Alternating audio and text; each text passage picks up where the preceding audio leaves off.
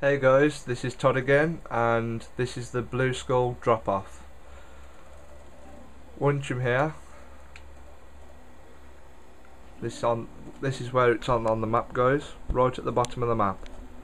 If you can see me and my friend. Um, once you get here, there will be two thugs and plenty of zombies to kill, and there should be a guy behind this gate. Um, once you get here, talk to him and go get, and follow him and go get your your pistol ammo reward. And then go in this sewer up these ladders.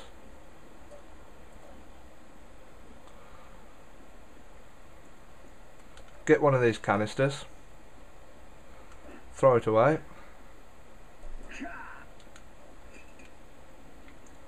Okay once you get here this door will be locked.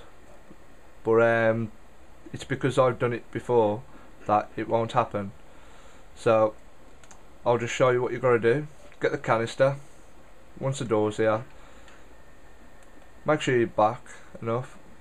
Shoot the canister and that door should blow away. Make sure you have the canister in front of the door because sometimes it don't work. Go around here. This is where you drop the blue skull off.